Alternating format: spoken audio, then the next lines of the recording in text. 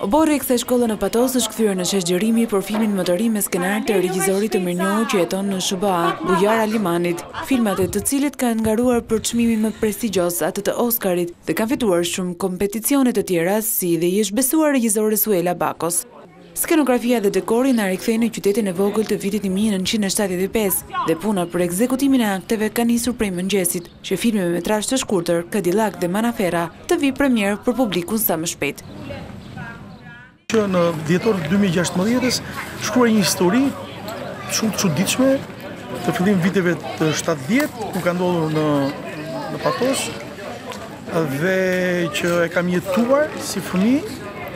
dhe kam dëgjuar vitet vitet që vinin, vitet më vonë. Skenari vë në qendër një personazh real, një intelektual që bën rezistencë kundër regjimit komunist.